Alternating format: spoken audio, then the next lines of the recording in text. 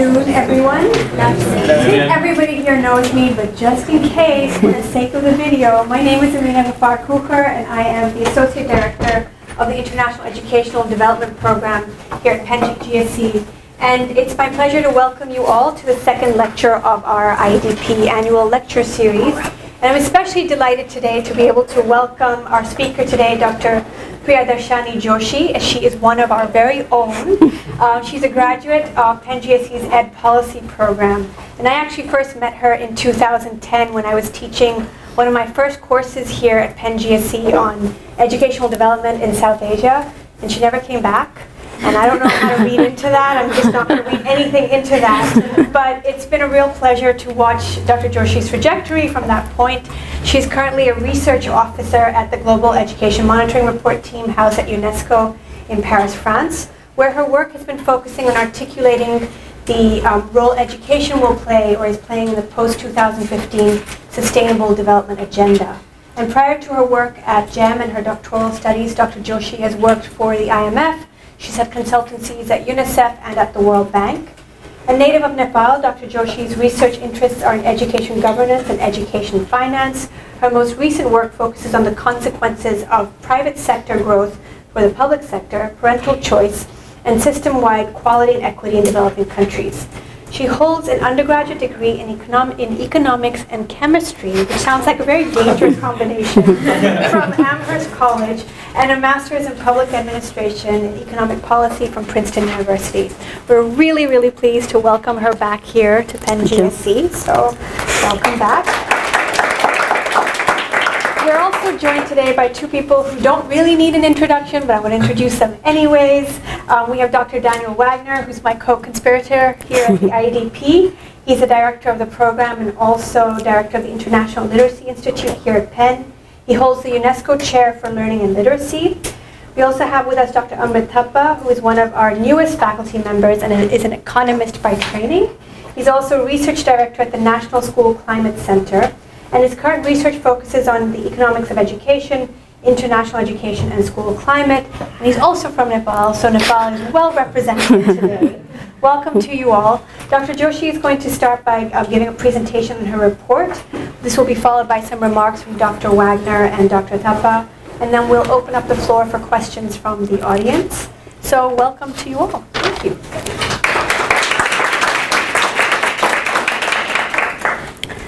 Thank you, Amina, and thank you, Professor Wagner. Thank you, Amrit. Uh, it's been a pleasure, you know, coming back. I mean, it's it's not the best of times, but uh, this has been heartwarming to be back, and uh, I hope you enjoyed this presentation.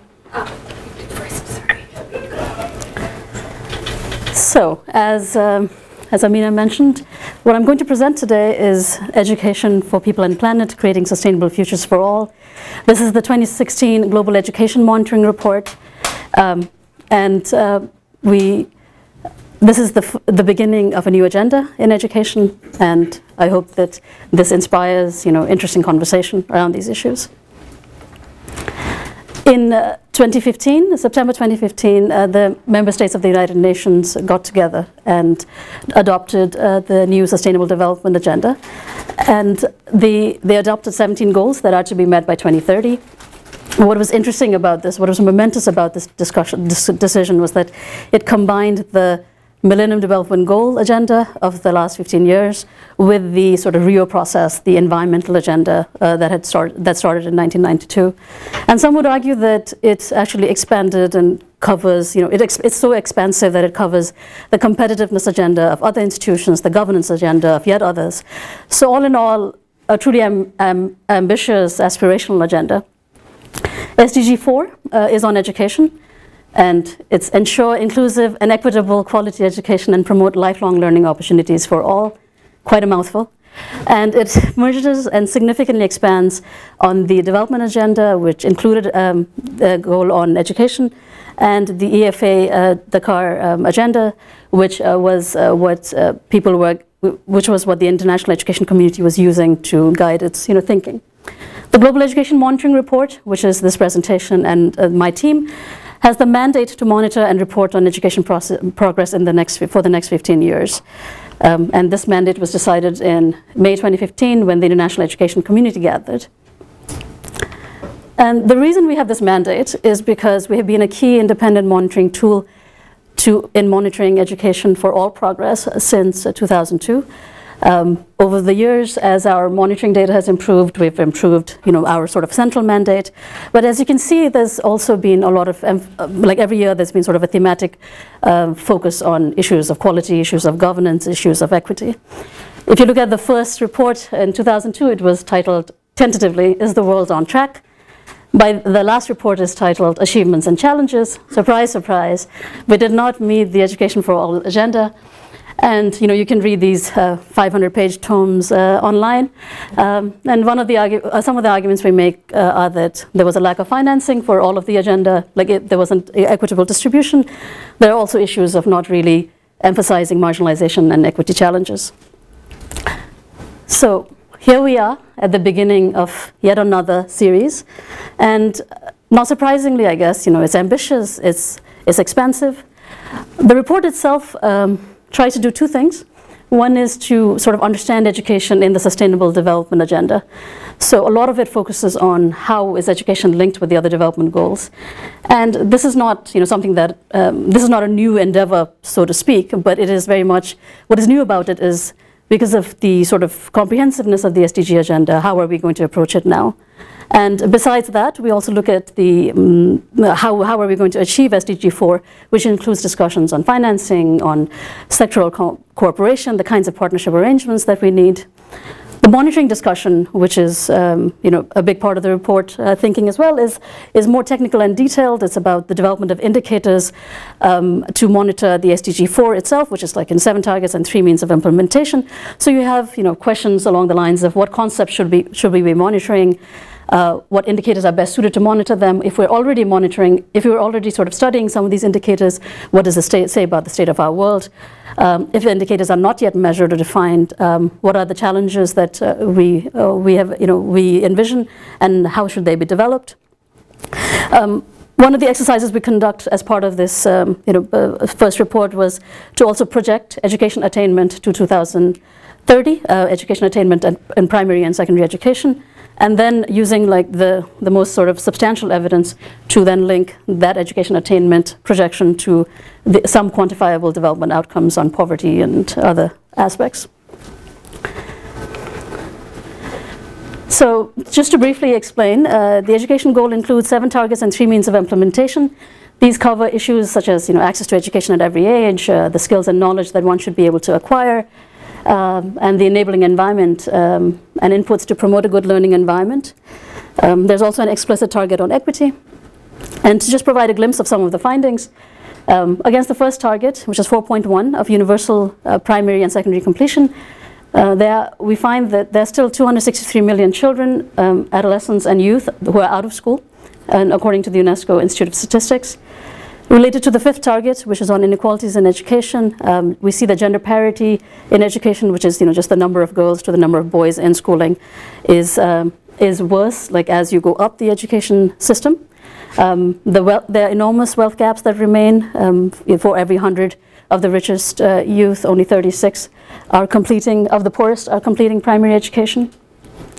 On the seventh, with respect to the seventh target on sustainable development, which is 4.7, um, which is actually a big, a big immersive target on the content of education, um, we find that you know our, our research, our new analysis uh, sort of really, um, I think, highlights the challenges of mainstreaming um, and sort of monitoring, you know, education curricula at a global scale. Um, for instance, of the 78 countries um, whose curricular frameworks we analyzed, we found that less than half of these countries included even the notion of climate change. And uh, finally, to just point out uh, the issue of facilities and, and learning environments, which are so pivotal, um, you know, just one indicator, only three, three in 10 primary schools lack adequate um, water supply. So, you know, please read about this in the, the full report in detail. Um, the one thing I want to emphasize here is in these projections that we did, what we found is that the world will not achieve the key global education commitments. And we find that the global average, like, you know, so 97% of, the, of uh, all of the population will only achieve it by 2084. You remember the education deadline was 2030. And so South Asia is not so far behind, but we see that for sub-Saharan Africa, it is a real, you know, they, they are decades behind. Uh, so universal secondary education will only be achieved after the end of the century. And the question really is, why is this so important to us? We've used this as our central message in when we've talked to you know, national policymakers, when we've talked to donors. It is because, of course, that uh, this is a very dangerous delay because we argue that education is pivotal to the SDGs. So our discussion of the SDGs is um, uh, if you are aware, there are 16 other Sustainable Development Goals, and they we have sort of categorized them for the convenience of writing, because you know, of course, it's tricky because they're all sort of linked into chapters on planet, prosperity, and people, which are considered in the literature as the three pillars of sustainable development. And we have like separate discussions on issues of peace, on issues of sort of urbanization, which is sort of a growing phenomenon that will be like an important thing in the future, and the issue of partnerships.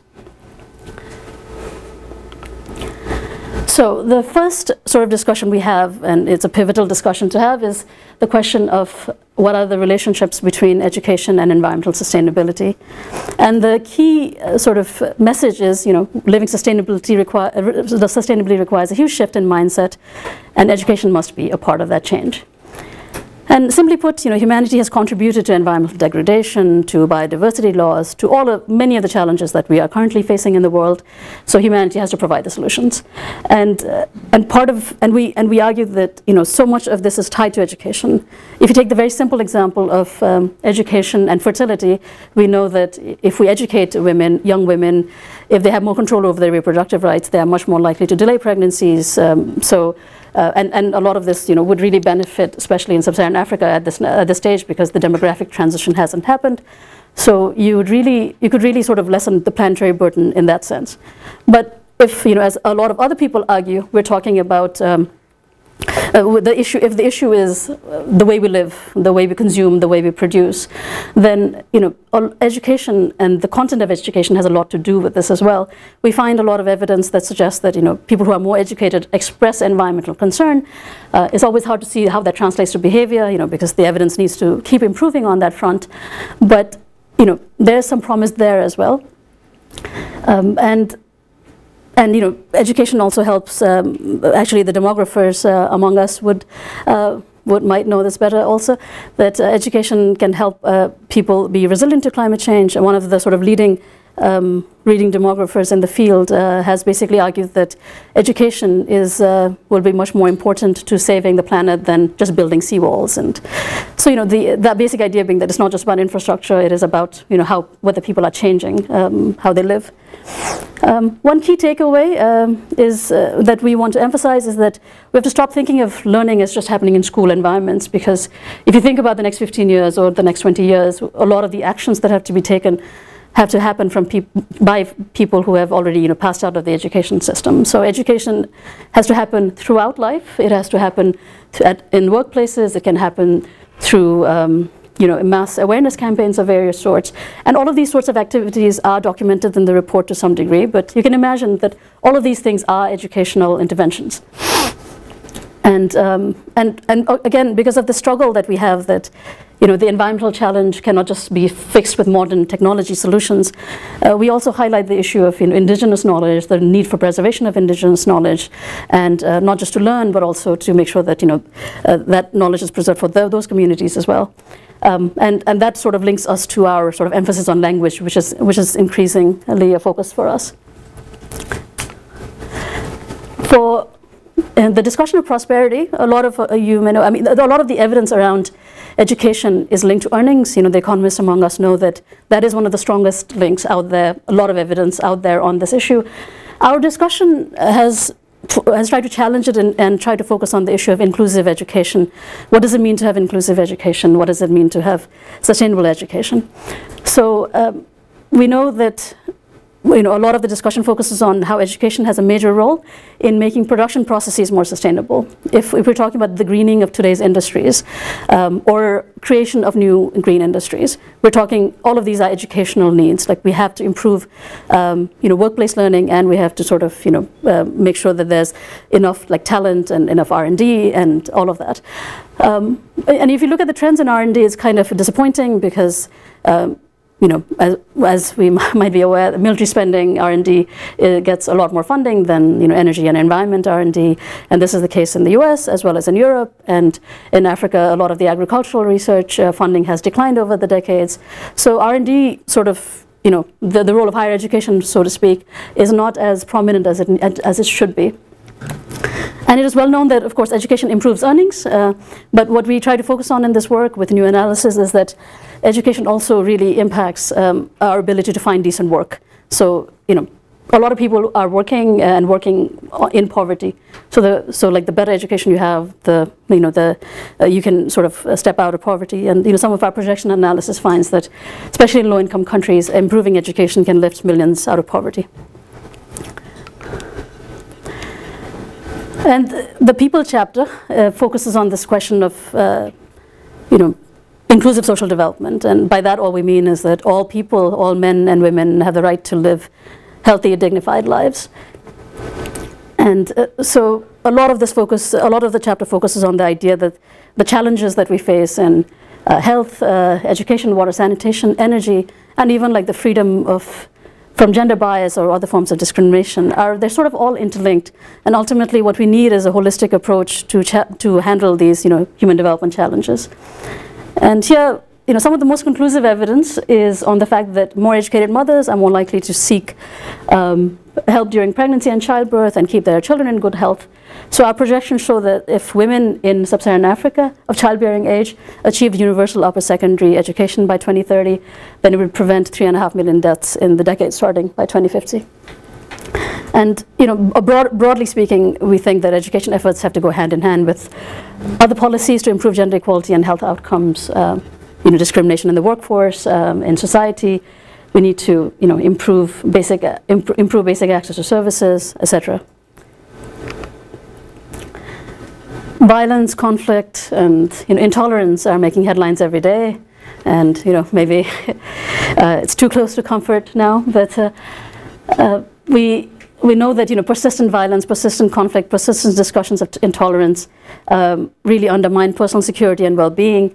Uh, we argue that education is a key element in political participation, inclusion, advocacy, democracy. Um, what we already know is that um, is that conflict and violence are taking a disturbingly large toll on education systems. In our most recent work with UNHCR, we have uh, found that 50% of refugee children are out of primary school, 75% of refugee adolescents are out of school. Um, education systems are often under attack. You know, girls, uh, girls uh, uh, like all girls schools are under attack three times as frequently as um, other schools. So, and teachers and you know, schools are often under attack. Schools are used for military purposes. The list goes on. And the argument is that, yes, all of that is, you know, all of these issues are affecting education, but also that inclusive education can reduce um, and uh, reduce violence and conflict. It can also be like a good tool for healing. Um, we don't want to be too I have a, too much of a positivist, you know, sort of uh, discussion on this because it is true that it really depends on what you're teaching and how you, uh, how you're teaching, whether you know you are being inclusive, whether you are trying to heal uh, the divide, whether it be I know post-conflict or post uh, post-Trump, or uh, so a lot of it depends on um, what happens in the education, you know, that you're receiving. But but there's a lot of evidence out there, um, and I urge you to read the chapter uh, on how education can lead to more constructive pol political processes, on you know voter out, voter education campaigns, and how they can you know so a lot lots of uh, discussion on how that can improve how we engage with democracy. And the chapter on place is. Uh, sort of not is not one of the um, main SDGs. Um, the reason it is a separate chapter is because we argue that we know that urbanization is one of the defining demographic trends of our future. Currently, this broad education sector is largely missing from key urban development discussions. I've been having discussions with a lot of people, um, you know, in the, in the last two years on who work on slums, who work on um, you know, urban development challenges. And the first discussion that I have is usually, uh, when I have a first discussion with them, the first point is usually, we're, we're not in the business of education, we're doing housing, or we're doing this, or we're doing that. Whereas, you know, when you start really looking at the evidence, you find that everyone is doing some level of education. Education is very, permeates everything that a lot of people do. Um, and so anyway, the, we know that cities uh, understand the role of education when it comes to competitiveness. Like, you know, we, there are all kinds of sort of indices by The Economist, by McKinsey, uh, where everyone's aware of the need for human capital, the need for talent to keep their cities sort of afloat and you know competitive. But uh, new, new research on sort of knowledge economies has also found that um, the big cities of Europe, the big cities of um, the United States, have become less equal over time. And it basically means that the, the gains are going to the most skilled and you know who can, uh, yeah. So there are you know, losers and winners in any system like this. What is, what is encouraging, I think, is you know, when, when you write, uh, when you go looking for evidence on policies and practices, is that urban planning, if it's done right, if it, is, if it sort of uh, considers education and inclusion properly, it can lead to transformations of cities. And one of the, uh, the things that we've tried to highlight, and we even went to Medellin, Colombia, um, remember Narcos, and uh, or you might be watching it right now. but it went from the most sort of violent city in the 90s uh, to one of the most innovative. And uh, the new urban, uh, like it had, I think, the new the urban forum in 2014. We we uh, did our presentation here. Uh, this year as well, where the, the mayor came and they were all sort of, you know, really energized about what they were doing. Uh, the one thing to highlight about them is, you know, is this idea that cities are organisms and all of it has to work together. And, and they really try to focus on public education as the way to do it. So it's not just about you know, continuing down the, even though it's a highly unequal city and it continues to be, but there is a real emphasis on the public nature of issues and you know, the public nature of education, the need for inclusion. So it can be done. And, um, and there's a lot of, I think, thinking also around the issue of urban planners, like the people who are actually designing our cities, are they just thinking about infrastructure and architecture, or are they actually thinking about inclusion? Are they thinking about you know the need for health and energy and transport uh, and education for everyone? And you know, as I mentioned earlier, education is very absent. So when you study this SDGs in detail, you see education as you know, a second order, third order priority after you've, you know, managed to uh, solve the housing, housing, housing crisis, the water and sanitation crisis. But it doesn't really work that way you know, we are so, it's so interlinked as issues that we need to push for this more. We, we were at UN Habitat 3 this year, and uh, it was again clear to us that, you know, everyone there was talking about housing, and very few people were really focused on the inclusion, the, the sort of integration of issues. So it's, it is going to be a challenge we pick up and really, you know, focus on for the next year, year or so. Going uh, as a sort of a side, as sort of a um, key point to highlight, um, if you remember the MDGs, uh, the Millennium Development Goals from 20, 2000 to 2015, there was a lot of emphasis on basic services, poverty, and you know that sort of thing. And one of the there was a lot of progress made on health, on infant mortality, on you know primary education access. Um, but you find a statement like this, which is true. This is the latest data that says that less than 30% have access to sanitation facilities and electricity in low-income countries. And uh, why is this of any interest to an education report or an education audience? It's because you know, the evidence is so overwhelming about how it's all linked. Again, you know, going back to the earlier discussion, um, if you have you know, poor health, water and sanitation facilities, it affects your health, it affects your cognitive development, in utero development, um, it affects you know, how children learn. If you, have, if you lack access to electricity, how are you going to have technology? How are you going to sort of uh, you know, affect, um, like improve indoor air pollution? I mean, the, the sort of the complicated interlinkages just go on and on. And we've also argued about schools as being key uh, to sort of providing a lot of these uh, um, sort of interventions together. And it's, it's, something also that's been around for a while, the idea that you can use schools uh, to serve, to provide these interventions because children can be used as agents of change in their communities. But we find, you know, if, if you really go start looking at this data, it is uh, deplorable, like how, how little access um, and how little like adequate access there is to all of these facilities. And this final point is, um, is on this issue of service delivery again. No? Like, so we're talking about if you are lacking basic access to services, you're, you're probably from rural uh, Asia and Africa or like the, from the urban areas, uh, urban poor regions like slums and shantytowns, of which I think a third of um, urban, a third of low-income um, city populations live in slums. Uh, and it, they, they are trying these sorts of things. You know, let's use technology, let's use budgeting practices to sort of improve uh, who's involved in decision making around services. But the problem is, if you do not include the issues of technological literacy, the issue of you know, whether you can actually participate. It doesn't work. It never works because you can have elite capture. So a lot of these ideas are uh, what I what the wash the water sanitation people think of as hardware and software. Um, you know, education is so much of the software, and not everyone who's working on water and sanitation is really thinking about the education component. Uh, one uh, one recent statistic was that in 2012, or less than one percent was used of uh, all water and sanitation funding was used for capacity building, and um, it's just this uh, persistent uh, desire to sort of focus on the building, focus on the you know infrastructure, and not on what it takes to sustain, what it takes to keep it going. So. Uh, this last point was was more about this idea of integration, and as I mentioned, the SDGs um, sort of portray this as the the, as being at the heart of the agenda. That all of these issues have to be um, worked on together.